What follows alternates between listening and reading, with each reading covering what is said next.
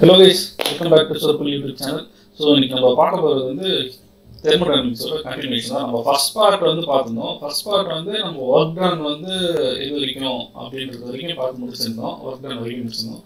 So நம்ம second பார்ட்டில் இன்னைக்கு என்ன கண்டினியூ பண்ணலாம்னா இந்த தெர்மோடைனமிக்ஸ் நம்ம ஆல்ரெடி இதெல்லாம் பார்த்துருக்கோம். இது basic concept of first or second இது வந்து டிஎன்பிசியோட இன்ஜினியரிங் சிலபஸ் ஏன்னா இது வந்து கம்பெனி இன்ஜினியரிங் சர்வீஸ் எக்ஸாம் வந்தால் இது யூஸாக இருக்கும் சேம் டைம் இப்போ ஜூலை எயிட்டீன் வந்து நமக்கு இன்ஜினியரிங் சர்வீஸ் இருக்குது யூபிஎஸ்சி ஓகேவா ஸோ காமன் சைக்கிள் என்ன இருவிசிபிலிட்டி அவ்வளோ behaviour of real class cases thermodynamic simulation அதுக்கப்புறமா அந்த பேசிக் சைக்கிள்ஸ் அதெல்லாம் இங்கே பார்த்துடலாம். ஒரு twenty to twenty five percent மட்டும் மிச்சம் இருக்கும் சிலபஸில் அந்த சேம் அதே மாதிரி தான் இன்ஜினியரிங் சர்வீஸ் சிலபஸுக்கு ஸோ இதில் பார்த்தீங்கன்னா உங்களுக்கு வந்து மேக்ஸிமம் என்ட்ராபின் இருபது இதில் வந்து இந்த ரேக்கிங் சைக்கிள் மட்டும் சொல்கிறேன் ஆட்டோ டீசல் வந்து நான் அடுத்த கிளாஸ் இருக்கணும்னு சொல்கிறேன் அண்ட் மோட்ஸ் uh, ஆஃப் இது ஹீட் ட்ரான்ஸ்ஃபர்லாம் நம்ம கம்ப்ளீட்டாக முடிச்சோம். ஸோ இது வரைக்கும் ரேக்கிங் சைக்கிள் வரைக்கும் நான் சொல்கிறேன் இன்னைக்கு மற்றதெல்லாம் இந்த auto cycle diesel cycle well cycle அடுத்த கிளாஸ் சொல்லிடுறேன். இதில் and same eight syllabus thermodynamics so இதில் பார்த்தீங்கன்னா most of work heat second law of thermodynamics application first law of thermodynamics application மட்டும். ஒரு ஒன்னோட அப்ளிகேஷன் இதை சொல்கிறோம் அடுத்தது வந்து அடுத்த வீட்டில் சொல்கிறேன் ஏன்னா லாங் ப்ராசஸ் சொன்னால் அது ஒரு ஃபார்ட்டி மினிட்ஸ் மேலே ஆகும். ஸோ மேக்ஸிமம் தேர்ட்டி மினிட்ஸ் உள்ள முடிக்கலாம்னு பார்க்குறேன். சரிங்களா? ஸோ இதுக்கு ஒரு டவுட் கேட்டிருந்தாங்க. என்ன புக்கு நான் படிக்கிறது அப்படின்ற மாதிரி. ஸோ இது வந்து நான் எடுக்கிற நோட்ஸ் வந்து ஒரு புக்கை பேஸ் பண்ணி மட்டும் எடுக்கிறது இல்லை. இதில் மூணு ஆத்தர் மேட்ச் தான் எடுக்கணும். ஒன்று அந்த ஃபாரின் ஆத்தர் மோரம் அண்ட் ஜேபி மோரம் வந்து அதுக்கப்புறமா பிகே அதுக்கப்புறம் லோக்கல் தமிழ் இது லோக்கல் இந்த விஜயராகவன் அந்த மாதிரிலாம் இருக்கும்ல அந்த பப்ளிகேஷன்லேருந்து ஸோ எதுக்குன்னா ஈஸி லாங்குவேஜாக இருக்கும் அட் சேம் டைம் கண்டென்ட் வந்து அந்த சேம் கண்டென்ட் இருக்கும் அதை நம்ம எப்படி கன்வே பண்ணுறது அப்படின்றதுனால ஒரு மூணு புக்கை ரெஃபர் பண்ணி அண்ட் தென் நம்ம எடுக்கிறது இந்த Vani institute GATE academy made easy ACE இந்த நாலு இன்ஸ்டியூட்லையும் நோட்ஸு ப்ளஸ் வந்து இந்த நாலு இன்ஸ்டியூட் என்ன நோட்ஸ் கொடுத்துருக்குறாங்களோ அதை ஃபுல்லாக ரிவ்யூ பண்ணி அண்ட் தென் அதில் நம்ம என்னென்னலாம் மிஸ் ஆகிருக்கோம் ஸோ நம்ம சேனல் நம்மளோட டீம் வந்து அதில் கொஞ்சம் நானே என் ஃப்ரெண்டு இன்னொருத்தரும் சேர்ந்து ப்ரிப்பேர் பண்ண தான் இந்த தெர்மோடைனமிக்ஸ் அந்த எல்லா சப்ஜெக்டும் அந்த தான். ஸோ எதுக்கு இதில் ஸ்பெஷல்னா நம்ம படிக்கிறது வேறு எக்ஸாம் மட்டும் இல்லை ஏன்னா எனக்கு ஒரு இண்டஸ்ட்ரி நாலேஜ் இருக்கிறதால இண்டஸ்ட்ரியில் எப்படி இது அப்ளிகேஷன் யூஸ் பண்ணுறாங்க அப்படின்றதையும் சேர்த்து சொல்கிறது தான் இதில் ஸ்பெஷல் சரிங்களா? ஃபர்ஸ்ட் இது பாருங்கள் தாய்கிட்ட இருந்து பார்க்குறதுனா ஓகே ஃபர்ஸ்ட் ஸ்க்ரீன்ஷாட் எடுத்துருவீங்க இது ரொம்ப இம்பார்ட்டன்ட்டு நிறைய வாட்டி கேட்குறாங்க. சரியா? எதுக்கு இதை சொல்கிறேன் அப்படின்றத நான் போக போக சொல்கிறேன் கான்ஸ்டன்ட் வால்யூம் என்ன? கான்ஸ்டன்ட் ப்ரெஷர் என்ன? கான்ஸ்டன்ட் டெம்பரேச்சர் என்ன? அடியபிலிட்டி ப்ராசஸ் என்ன? ஸோ கான்ஸ்டன்ட் வால்யூம் வந்து ஐசோபரிக்னு நம்ம சொல்லுவோம். ஓகேவா அதே மாதிரி கான்ஸ்டன்ட் ப்ரெஷர் வந்து ஐசோபாரிக்னு சொல்லுவாங்க. கான்ஸ்டன்ட் டெம்பரேச்சர் வந்து ஐசோ தெர்மல்னு சொல்லலாம் அடியபிலிட்டி ப்ராசஸ் சரியா? ஸோ இது முடிச்சுட்டு நான் இது சும்மா பார்த்துக்கோங்க இது பிவிடி ரிலேஷன்லேருந்து எடுத்துகிட்டு வந்த ரிலேஷன்ஸ் இது வந்து PV diagram constant volume PV இது பி இங்கே இருக்கிறது இது பி இது ஸ்பெசிஃபிக் வால்யூம் வி சரியா? ஸோ அது மாதிரி தான் எடுத்துக்கணும். இது ஒர்க் டன் ரிலேஷன்ஸ் சரி இந்த ரிலேஷன்ஸ்லாம் எப்படி வந்துச்சு? இந்த ட்ராயிங் எப்படி போடுறது? அப்படின்றத ஒன்றுனா நம்ம எக்ஸ்பிளைன் பண்ணுவோம். சரியா? சரி ஓகே சப்ஜெக்ட் போயிடலாம் சரி. எல்லா வாட்டியும் இந்த சிபி சிவி அப்படின்றத நான் சொல்லிட்டே இருப்பேன். நிறைய பேருக்கு டவுட் ஆகும். என்ன இது அப்படின்ற மாதிரி. ஸோ அதுக்கான எக்ஸ்பிளனேஷன் கொடுத்துருக்கேன். இது ஸ்பெசிஃபிக் ஹீட் கெப்பாசிட்டி அப்படின்னு சொல்லுவாங்க. சரி ஸ்பெசிஃபிக் ஹீட் கெப்பாசிட்டி அப்படின்னா என்னன்னா ஒன் கிலோ ஆஃப் மாஸ் ஒரு இருக்கு. அது வந்து டெம்பரேச்சர் வந்து டூ எயிட்டிலேருந்து டூ எயிட்டி ஒன்னா மாற்றுறதுக்கு ஒரு கேள்வி ஏற்றுறதுக்கு நம்ம எவ்வளோ ஹீட் கொடுக்குறோமோ அதுதான் வந்து ஸ்பெசிஃபிக் கெப்பாசிட்டின்னு சொல்கிறது சரியா? சரி ஸ்பெசிஃபிக் கெப்பாசிட்டி கான்ஸ்டன்ட் வால்யூம் அப்படின்னா என்னன்னா அந்த ஒன் கெல்வினை நம்ம ஏற்றணும் பட் அதை கான்ஸ்டன்ட் வால்யூமை வச்சு பண்ணுறது அதே மாதிரி கான்ஸ்டன்ட் ப்ரெஷர்னா என்னன்னா அது வந்து ப்ரெஷர் வந்து கான்ஸ்டன்டாக வச்சுட்டு ஏற்றுறது இதுக்கு நம்ம டெஃபினேஷன் கொடுத்துருவோம் ஃபர்ஸ்ட்டு ஸ்பெசிஃபிக் கெப்பாசிட்டி அப்படின்றது டெஃபினேஷன் பாருங்க. Specific capacity defines a quantity of heat required to raise temperature of one KG of substance to one kelvin இது ஒரு யூனிட் வந்து ஜூல்ஸ் பர் கேஜி இது வந்து ரொம்ப இம்பார்ட்டன்ட் ஓகே அதே மாதிரி கான்ஸ்டன்ட் வால்யூம் இதையும் அதே தான் கொடுத்துருக்கோம் reference quantity of heat required to rise the temperature of one mole of gas through one Kelvin by volume equal to constant. அதே மாதிரி தான் இதுவும் ஒன் கேஜி வந்து இன்க்ரீஸ் பண்ணுறது வந்து ப்ரெஷர் ஈக்குவல் டு கான்ஸ்டன்ட் சரி இதை வச்சு நான் என்ன தெரிஞ்சுக்கணும் அப்படின்னா CP value CV of air அப்படின்ற கொஸ்டின் கேட்பாங்க. சரியா? CV of air zero point seven one eight சரி CP minus CV equal to R அந்த கேஸ் கான்ஸ்டன்ட் உங்களுக்கு தெரியும். R is equal to zero point two eight seven சரியா? இது மட்டும் ஞாபகம் வச்சுக்கோங்க. அதுக்கப்புறமா gamma. காமானா CP minus CV equal to one point four R சரி ஆருக்கு ஓகே சரி. ஸ்பெசிஃபிக் தெர்மல் கெப்பாசிட்டின்னு சொல்கிறாங்க அதுதான் சிபிசிபின்னு சொல்கிறாங்க சரி இப்போ நான் ஒன்றா சொல்கிறேன் இதை நம்பி சொல்ல போறேன்னா நான் ஆல்ரெடி சொன்னேன். தெர்மோடைனமிக்ஸ் இந்த லாஸ் அப்படி வந்துச்சுன்னா ஒரு எக்ஸ்பெரிமெண்ட் பண்ணி அதுலேருந்து தான் லாஸ் ஃப்ரேம் ஆகுது அப்படின்னு சொல்லியிருக்கேன் சரியா? ஸோ அப்போ இந்த வாட்டியும் நான் டேரக்டாக என்ன சொல்ல இந்த லாஸ் வந்து சொல்றது மாதிரி ஒரு எக்ஸ்பிரிமெண்ட் மாதிரி. எக்ஸ்பிரிமெண்ட்ல இது இண்டஸ்ட்ரியில யூஸ் பண்ற ஒரு reciprocating double acting reciprocating compressor so அதை வச்சுட்டு இந்த பாய்ஸா சார்ல்ஸா யூஸ் ஆகலாம் இதெல்லாம் எப்படி வந்துச்சு? அது ஒரு பேஸா சொல்லிட்டு அதுக்கப்புறம் ஒன்றுனா நம்ம இந்த ஐசல் பார் கான்சன்ட் வால்யூம் கான்சன்ட்ரேஷன் பற்றி போகலாம் சரி ஃபர்ஸ்ட் நான் சொல்கிறேன் நல்லா அஹ், கேட்டுக்கோங்க. ம். இது வந்து டபுள் ஆக்டிங் ரெசிப்ரோகேட்டிங் கம்ப்ரஸர் நான் டிராயிங் போடுறத கொஞ்சம் கேவலமாக இருக்குது அட்ஜஸ்ட் பண்ணிக்கோங்க ஃபர்ஸ்ட் வந்து இது இன்லெட் ஐ இதுன்னு போடுறோம்ல இது இன்லெட்டு ஸோ இன்லெட்ல வந்து ஏர் வந்து செக்ஷன் நடக்குது. இது வந்து ஒரு ப்ரைம் மோட்டர் வச்சு டிரைவ் பண்ணுவாங்க. சரியா? டிரைவ் பண்ணும்போது என்ன ஆகுதுன்னா இது கிராங்க் ஷாஃப்ட் அந்த கிராங்க் ஷாஃப்ட் வச்சு கனெக்ட் பண்ணி இப்படி சுத்தம். அதெல்லாம் ஓகே நான் வந்து இந்த பாயிண்ட் வரேன். ஃபர்ஸ்ட் வந்து ஏர் வந்து சக்ஷன் இழுக்குது. சக்ஷன் இழுக்கும் போது என்ன ஆகுது? இந்த பிஸ்டன் வந்து இந்த சைடு மூவ் ஆகுமா? இந்த டைரக்ஷன் போகும். கரெக்டா இந்த டைரக்ஷன் போகும்போது உங்களுக்கு வந்து இழுக்குது. இழுக்கும் போது உங்களுக்கு வந்து ப்ரெஷர் வந்து கம்மியாகும். இந்த இழுக்கும் போது வால்யூம் வந்து அதிகமாகிட்டே போகுது. ஸோ இது வந்து நம்ம பாய்ஸ் சொன்னால தாராளமாக சரி இது வந்து ஃபர்ஸ்ட் ஸ்டேஜ் நான் சொல்கிறேன் சரி இருக்குது தென் வந்து திருப்பி கம்ப்ரஷன் வந்து இப்படி நடக்குது. இப்படி போகும்ல திரும்பி அப்போதான் கம்ப்ரஷன் ஆகும். கம்ப்ரஷன் ஆகும்போதுனாவது திரும்பியும் ப்ரெஷர் வந்து அதிகமாகும் போது டெம்பரேச்சரும் கூட சேர்ந்து அதிகமாகும். இது வந்து கைட் யூஸ் ஆகலாம்னு சொல்லுவாங்க theoretically proven okay and then அப்படி டெம்பரேச்சர் அதிகமாகிற ஏர் இருக்குல்ல அது என்ன ஆகும்னா நம்ம வந்து கூலர் குழுவோம் எதுக்கு கூலர் விடுவோம்னா அதோட வால்யூம் வந்து கம்மி பண்ணுறது சரியா?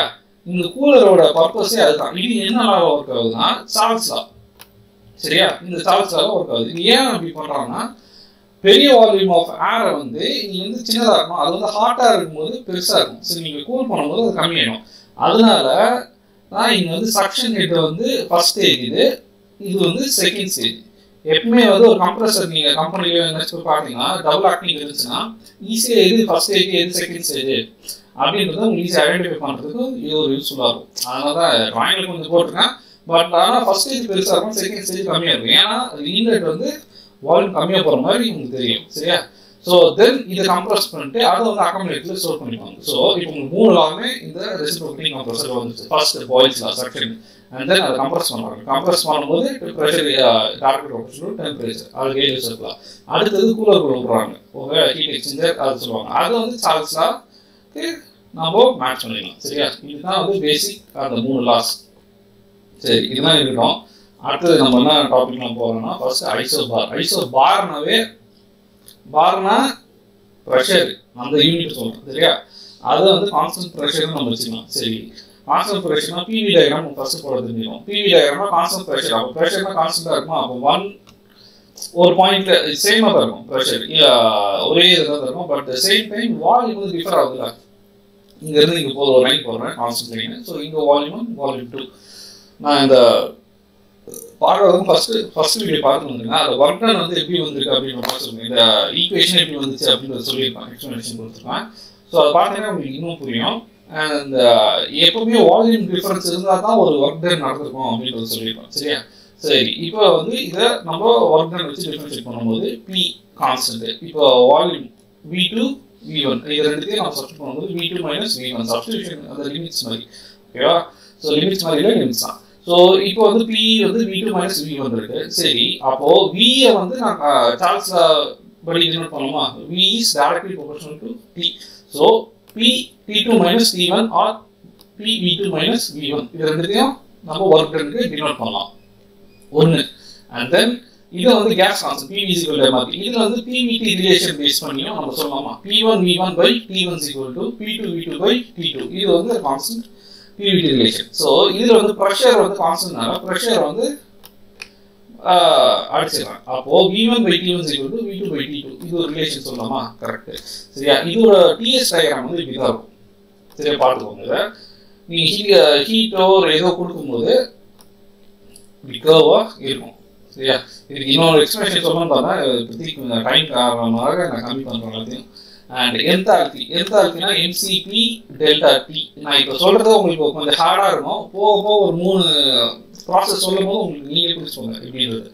சரி என்தால்பி இது MCP delta T internal energy MCV delta T okay internal energy MCV enthalpy MCP அதே மாதிரி entropy MCP ln T two by T one plus MR ln V two by V one சரி இதெல்லாம் எப்படி வந்துச்சு? அப்படின்றது ஒரு கேள்வி இருக்குமா? அதை வந்து இப்போ நான் கான்ஸ்டன்ட் வால்யூம் ப்ராசஸ் எக்ஸ்பிளைன் பண்ணுறேன் எப்படின்றது. பாருங்கள் கான்ஸ்டன்ட் வால்யூம் அப்படின்னாவே என்ன சொல்லிட்டேன் நான்? வால்யூம் கான்ஸ்டன்ட் இருந்தால் ஒர்க் நடக்காது கரெக்டு சரியா? பிவி டயக்ராம் போடுறேன். வால்யூம் வந்து கான்ஸ்டன்டாக இருக்குது ஓகேவா ஸ்ட்ரீட் லைன் போடுறதுனால ஸோ ஒன் டூ சரி இப்போ என்ன பண்ணிட்டேன்? அதே ஒரு பிஸ்டன் எடுத்துக்கிறேன் பிஸ்டன் வந்து ஃபிக்ஸ் பண்ணிட்டேன். ஃபிக்ஸ் பண்ணிட்டு ஒரு ஹீட் கொடுக்குறேன். சரியா? அதனால உங்க வால்யூம் டிஃபரன்ஸ் எல்லாம் அப்படியே மூவ் ஆகாது. அப்படியே உங்களுக்குள்ளே இருக்கும். சரி இது வச்சு என்ன பண்ணுறது ஃபர்ஸ்ட் ரிலேஷன் பிவிடி ரிலேஷன் இருக்கிறேன் அதே மாதிரி P one V one by T one equal to P two V two by T two எடுக்கிறேன். அதே மாதிரி வால்யூம் வந்து கான்ஸ்டன்ட் வியை வந்து கேன்சல் பண்ணுறேன் கேன்சல் பண்ணுறதுனால நமக்கு இந்த ரிலேஷன் கிடைக்குது. சரி பிவிடி ரிலேஷன் கிடைச்சிச்சு. ஒர்க் டன் ஒர்க் டன் நான் என்ன சொல்லியிருக்கேன்? வால்யூம் சேஞ்சஸ் இருந்தால் மட்டும்தான் அது வந்து ஒரு ஒர்க் நடக்கும். இல்லைன்னா அது ஜீரோ ஓகே இது ஒன்று அண்ட் தென் இன்டர்னல் எனர்ஜி நான் சொன்ன மாதிரி internal energy equal to MCV delta T ஓகேவா இந்த டிடி வந்து நான் எழுதிருக்கேன் டெல்டா டி இது temperature difference C two minus T one okay and then heat transfer heat transfer எப்பவுமே ஞாபகம் கியூ ஓகேவா? கியூ வந்து ஒரு ஹீட் ட்ரான்ஸ்ஃபர் நடக்குது. சரி இதுக்கு வந்து என்ன யூனிட் போட்டிருக்கோம்னா இன்டர்னல் எனர்ஜி ப்ளஸ் ஒர்க் ஓகேவா? இன்டர்னல் எனர்ஜி என்ன தெரியும்? இங்கே போட்டிருக்கோம். எம்சிவி டிடி அதாவது டெல்டா டி அதுவும் ஒர்க்கும் ஆட் பண்ணிங்கன்னா heat transfer so work zero அதனால நம்ம இதை யூஸ் பண்ணிக்கலாம். Next enthalpy enthalpy DU plus DPV சரி இதை சப்ஸ்ட் பண்ணீங்கனாலும் அதே மாதிரி இன்டர்னல் இதெல்லாம் போட்டு சப்ஸ்ட் பண்ணீங்கனாலும் உங்களுக்கு எம்சிபி டெல்டா டி இது கிடைக்குது.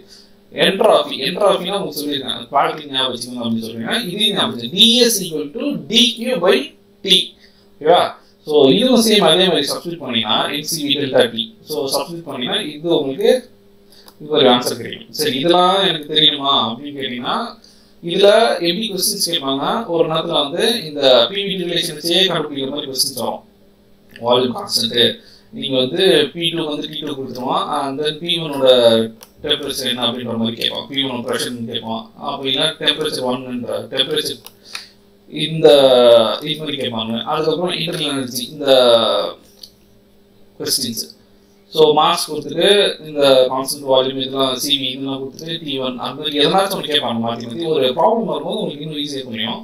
இப்போ அடுத்து சொல்கிற பாருங்க constant temperature constant temperature isothermal சொல்லலாம் சரி ஐசோ தெர்மல்னா டெம்பரேச்சர் டிஎஸ் ஆகிடும்னா டி கான்ஸ்டன்ட் லைனா பி கான்ஸ்டன்ட் வரும்போது பி வந்து இப்படி கர்வ் ஆயிடுது. ஓகே சரி ஃபர்ஸ்ட் நான் பிவிடி ரிலேஷன் போகிறேன் P one V one by T one ஓகேவா equal to P two P two by P two இது கான்ஸ்டன்ட்னா பி ஒன் பி டூ ரெண்டு அடிக்கிறேன் ஏன்? ஐசோ தெர்மல் அப்படின்றதுனால. ஆட் போட்டோம்னா இது மாதிரி ஒரு ஈக்குவேஷன் கிடையாது. பி ஒன் பை இதை சப்ஸ்ட் பண்ணலாம். நெக்ஸ்ட் ஒர்க் எடுத்து வரோம் ஓகேவா work equal to integration of PDV இதை சப்ஸ்டிட் பண்ணால் P one V one ln V two by V one அப்படின்ட்டு சப்ஸ்டியூஷன்லாம் கிடைக்குது. சரி. அதே மாதிரி இதுக்கு இன்டர்னல் எனர்ஜி ஓகேவா இன்டர்னல் எனர்ஜி வந்து ஜீரோ சொல்றேன் எப்படி சொல்றீங்க? நம்ம ஆல்ரெடி சொல்லியிருக்கேன். Internal energy NCV delta T இப்போ டெல்டா டி தான் கான்ஸ்டன்டா இருக்கு. ஸோ கண்டிப்பா ஜீரோ அதே மாதிரி என்தால்பி ஓகேவா என்சிபி டெல்டா டி இதுவும் கான்ஸ்டன்டா இருக்கு. ஸோ இதுவும் ஜீரோ அதே மாதிரி உங்களுக்கு என்ட்ராபி என்ட்ராபினா கியூ பை டி ஆவரேஜ் மேலே பார்த்துருங்க டி கியூ பை டிடி ஓகேவா அந்த T average அப்படின்றதுனா temperature one plus temperature two by two இது தெரிஞ்சுக்கோங்க. என்னன்னு போட்டீங்கன்னா உங்களுக்கு வந்தோம் ஸோ ப்ராப்ளம் சிம்பிள் ப்ராப்ளம் தான். இது ஒரு சின்ன சின்ன எக்ஸாம்ஸ்லாம் கேட்பாங்க. இது ஒரு வாட்டி படிக்கணும் பாருங்க. 0.25 kg of air at a of of 1 bar occupies a volume of 0.3 meter cube. If the air expands isothermally, இது ஒரு condition isothermal temperature equal to constant, ஓகேவா to the volume of 0.9 meter cube. அப்போ volume 1 கொடுத்துருக்கான் volume 2 கொடுத்துருக்கான் mass எவ்வளோன்றது கொடுத்துருக்கான் pressure கொடுத்துருக்கான் determine the final temperature T2 கேட்கலாம் work done எவ்வளோன்றது கேட்கலாம் இன்டர்னல் எனர்ஜி யூன் கேட்கலாம் heat absorbed by the air and changing entropy எல்லாத்தையும் கேட்கலாம். அண்ட் கேஸ் அந்த ஆர் எவ்வளோன்றது வேல்யூ கொடுத்துருக்காங்க ஜீரோ பாயிண்ட் டூ நைன் சரி இப்போ நம்மளுக்கு ஒரே ஒரு என்ன கண்டிஷன்லாம் கொடுத்துருக்காங்க இது ஐசோதர்மல். ஓகேவா அந்த ப்ராசஸ் நடக்குது. இந்த இதெல்லாம் ஃபர்ஸ்ட் இது மாஸ் ப்ரெஷர் ஒன்று எவ்வளோன்றது கொடுத்துருக்காங்க. கிலோமீட்டர் பெர் மீட்டர் ஸ்கொயர் மாற்றிக்கணும். வால்யூம் அதே மாதிரி. Temperature to isothermal condition volume வந்து வி டூ எவ்வளோன்றது இருக்கு. அதுக்கப்புறமா கேஸ் வந்து இது கொடுத்துருக்கான் தென் என்ன கேட்கறான் final temperature T two work எவ்வளோ கேட்கறான் இன்டர்னல் எனர்ஜி கேட்கறான் ஹீட் அப்சர்வ் கியூ கேட்கறான் என்ட்ராஃபி கேட்கறான் உங்களுக்கு எக்ஸாம்பிள் இது எல்லாமே கேட்பானா? இல்லை கேட்க மாட்டான் ஏதாச்சும் ஒன்று ரெண்டு தான் கேட்பான். இது எல்லாமே வர மாதிரி நான் போட்டுருக்கேன். அவ்வளோதான் சொல்யூஷன் போயிடலாம் ஃபர்ஸ்ட் நம்ம ஆல்ரெடி சொன்ன மாதிரி பிவிசி இசிக்கல் எம்ஆர்பி இந்த சொல்யூஷன்ஸே இதை போட்டுடலாம். ஏன்னா நம்ம மார்க்ஸ் கொடுத்துருக்கா ஸோ டேரக்டாக இதுல இருந்து நம்ம போட்டுடலாமா? ஸோ டி ஒன்னு பி ஒன் வி ஒன் என்னன்றது தெரியும். மார்க்ஸ் என்னன்றது தெரியும். ஆர் இது சப்ஸ்டியூட் பண்ணி ஆன்சர் இருக்கும் ஸோ இது மாதிரி சிம்பிள் தான் இருக்கும் உங்களுக்கு.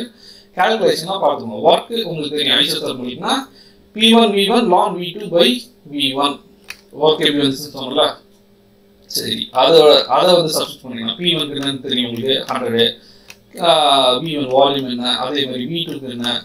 V two divide by V வந்து சப்ஸ்ட் பண்ணினா உங்களுக்கு இந்த ஆன்சர் கிடைக்கும். ஒர்க் சரி அதே சமயம் internal energy delta U delta U MCV delta டின்னு சொல்லலாமா?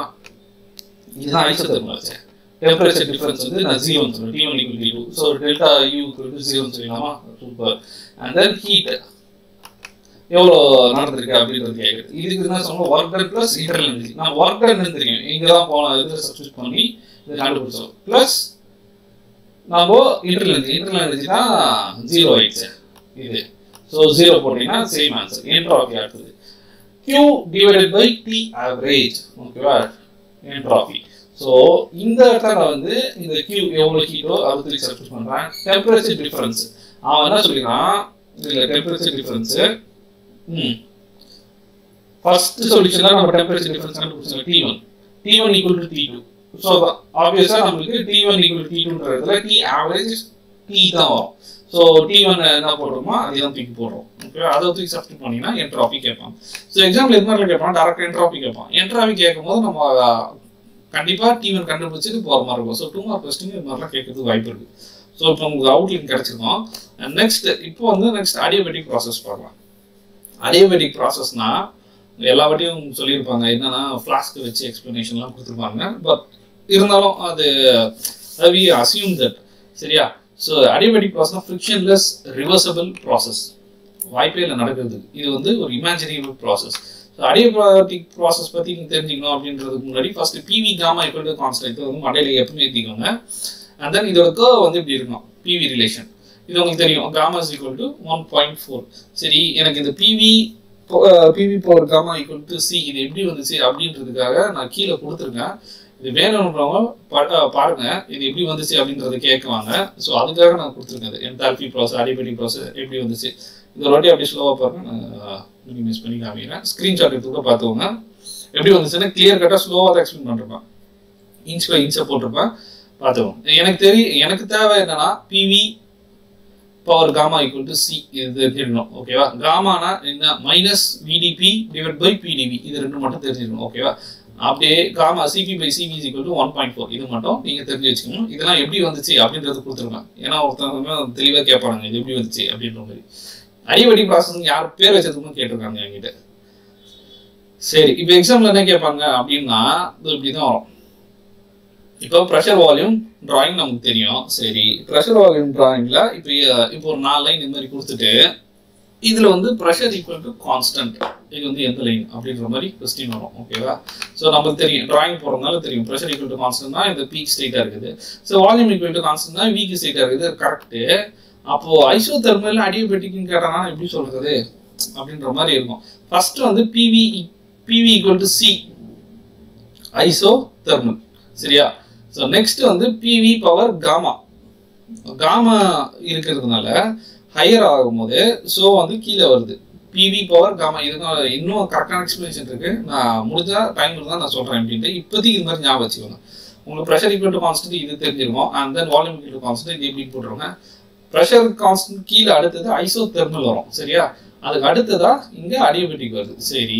ஸோ இதுக்கு வந்து இதே மாதிரி நான் கொடுத்துருப்பேன். இந்த பிவி ரிலேஷன்ஸ்லாம் கொடுத்துருப்பேன். அடியோபெட்டிக் ப்ராசஸ்க்கும் இது எப்படின்னா பிவி காமா ஈக்குவல் டு சின்னு சொல்றேன்னா சரி.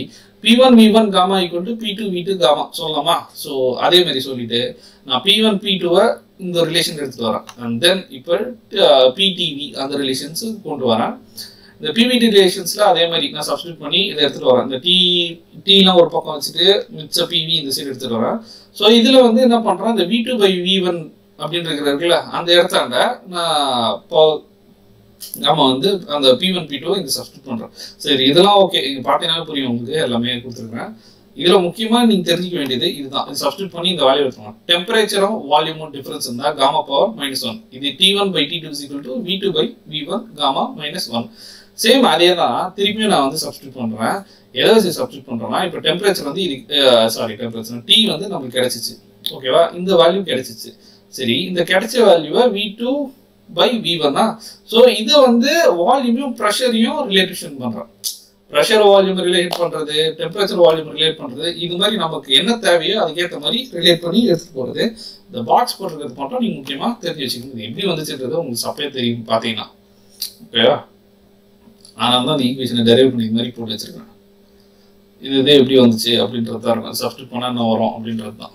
ஓகே சரி இந்த நாலு பாக்ஸை மட்டும் தெரிஞ்சு வச்சுக்கோங்க. சரி நான் இது இப்போதைக்கு இது வரைக்கும் முடிஞ்சு நடுவில் அந்த கௌசிக் வந்தான்ற மாதிரி பாலிட்ராபிக் ப்ராசஸ் ஒருத்தன் வந்துடுவான் ஓகேவா அவன் ஏன் எங்கே வந்தானா இப்போ நான் மேலே சொன்னேன் இது வந்து டெம்பரேச்சர் ஈக்குவல் டு கான்ஸ்டன்ட் ஓகேவா இது ப்ரெஷர் ஈக்குவல் டு கான்ஸ்டன்ட் இது வால்யூம் ஈக்குவல் டு கான்ஸ்டன்ட் இங்கே அடியபெட்டிக் கான்ஸ்டன்ட் இது நடுவில் தான் பாலிட்ராபிக் இந்த கௌசிக் வந்தா என்ன? அப்படின்ற மாதிரி வந்துருப்பாங்க சரி பாலிட்ராபிக் ப்ராசஸ்னா என்ன அப்படின்றத எக்ஸ்பிளேஷன் கொடுத்துருவேன் polytropic equation describes a multiple expansions and compression process which includes a heat transfer சரியா?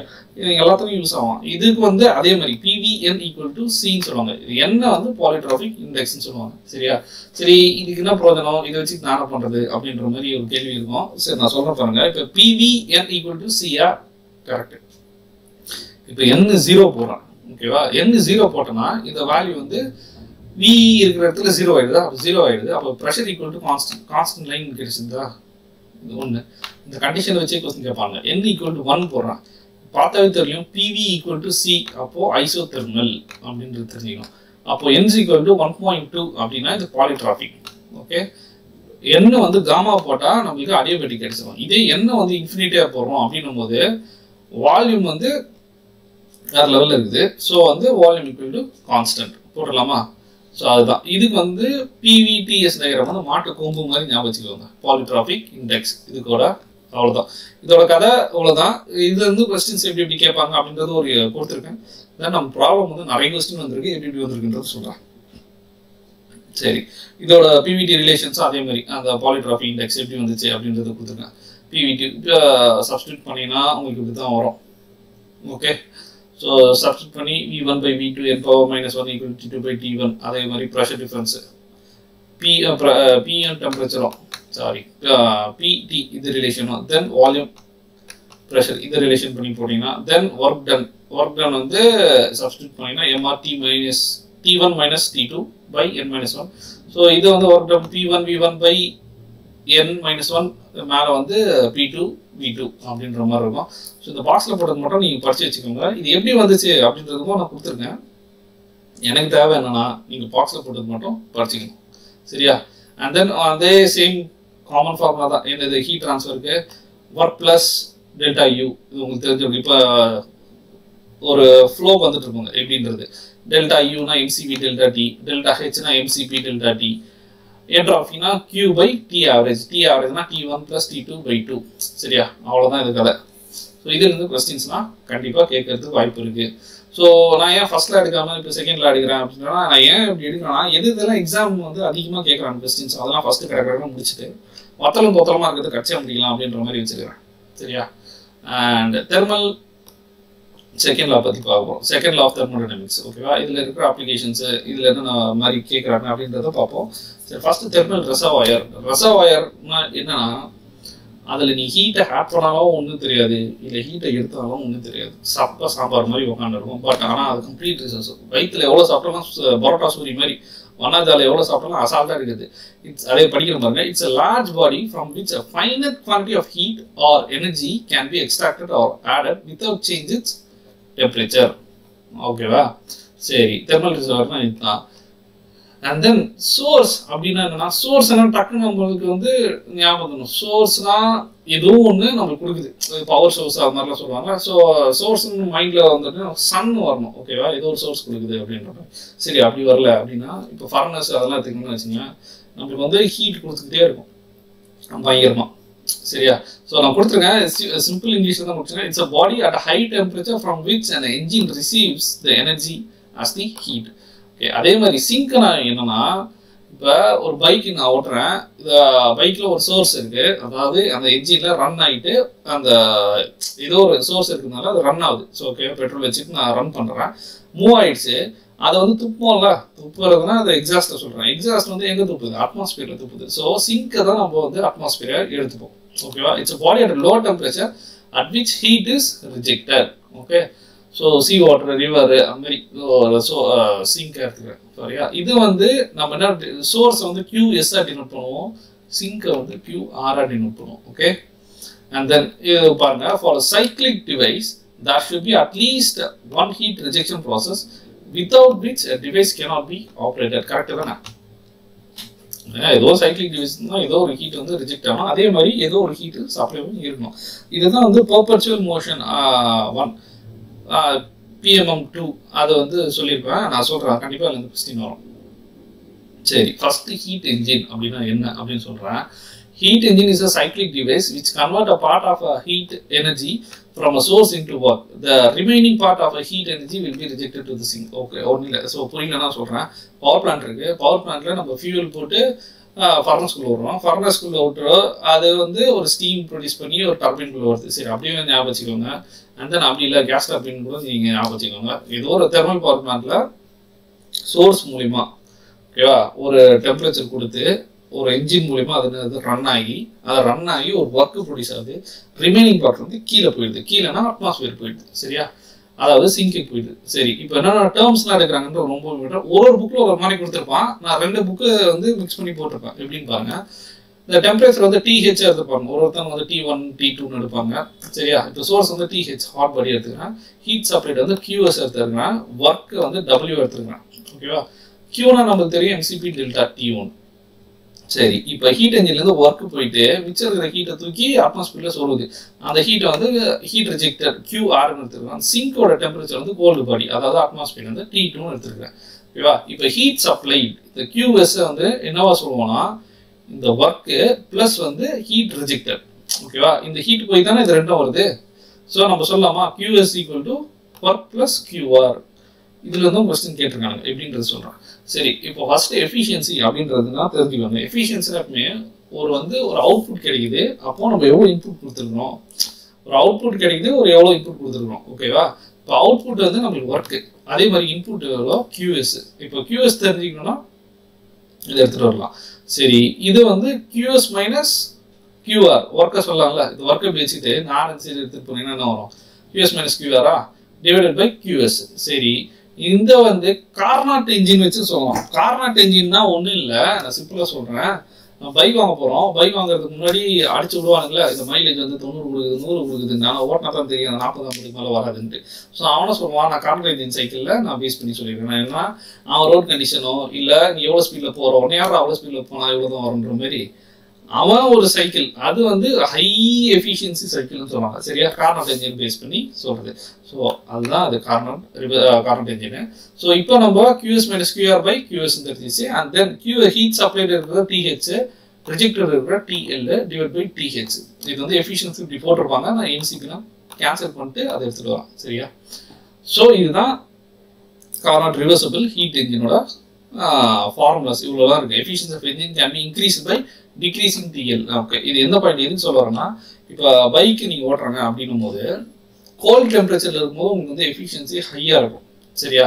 ஒன்று அண்ட் தென் அதே மாதிரி கொஸ்டின்ஸ் வந்து இஎஸ்சியில் கேட்டிருக்கான்னு சொன்னேன். என்ன கேட்டிருக்காங்கன்னா பைக் வந்து சிக்னல் நிற்கும் போது உங்களுக்கு எது ஹீட் ட்ரான்ஸ்ஃபர் சப்ஜெக்ட் சொல்லியிருப்பேன் ஹீ டிராஃபிக் uh, ஜாமில் நிற்கும் போது நமக்கு ஹீட் வந்து அதிகமாக தெரியும். பைக் போகும்போது ஏன் அதிகமாக கூலிங்காக இருக்குது அப்படின்னா கன்வெக்ஷன் சரியா? ஸோ அது டைவேட்டரில் பட் இது மட்டும் ஞாபகம் வச்சுக்கோங்க. ஓகேவா என்னென்ன இது மட்டும். எஃபிஷியன்சினா TH minus TL by TH இது கார்னாட்டுக்கு இதே மாதிரி efficiency QS minus QR by QS ஓகேவா இது எப்படி வந்துச்சு? எப்படின்றது மட்டும் புரிஞ்சுக்கோ ஃபார்முலா மறந்துட்டீங்கன்னா அந்த டிராயிங் போட்டு நீங்கள் எடுத்துகிட்டு வரணும். சரி இதே மாதிரி இப்போ பிஎம்எம் டூ இதுக்கு என்ன கொடுத்துருங்கன்னா any device which violates second of thermodynamics is call PMM two perpetual motion machine சொல்லுவாங்க. அண்ட் ஃபர்ஸ்ட் தெர்மோடைனமிக்ஸோட செகண்ட் லா என்னன்றது உங்களுக்கு தெரிஞ்சுக்கணும் ஃபஸ்ட் கிளாஸ் பார்த்தீங்கன்னா கண்டிப்பாக உங்களுக்கு தெரிஞ்சிருக்கும். எது? பிளாங்க்ஸ் க்ளாஷஸ் ரெண்டு சொல்லியிருப்பேன்.